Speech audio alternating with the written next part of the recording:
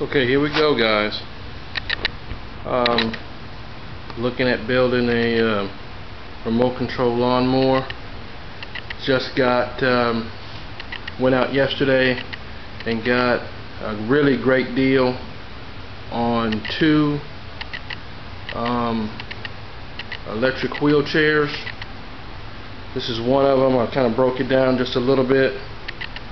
Got everything off of it looking at um, checking out the motors here. Got a really great deal at the pawn shop um, here in town. You guys really need to look at look at that save you some money if you're trying to build one of these. I've got I got two of these for a hundred dollars. I just happened to be looking on Craigslist and they were selling them for one for sixty dollars. They had four in stock and I got two of them for um, a hundred dollars.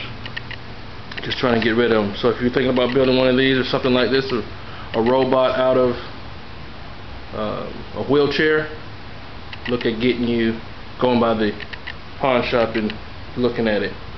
But I was looking online today and it looks like these motors they have um, a um, a brake in here that you've got to get out so I'm going to um, break these down and get these brakes out of here and test these motors to see if they're any good to see if my deal is really good. Um, looks like everything was in working order. Got a couple little things like that right there. You know what is that? Somebody did that for some reason. But um, you know things things like this here. Just making sure there's a light that I took off here um, it looks like it was in pretty good shape.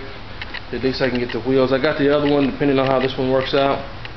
Maybe one of the neighbors or something will want one, but it's got the circuit breaker on it here. Uh, the brakes on it. We'll just we'll uh, break it down a little bit more and look at uh, how we want to design this thing. That's it for now. I'll uh, be back in touch as soon as I check out a couple of things and make sure everything's working.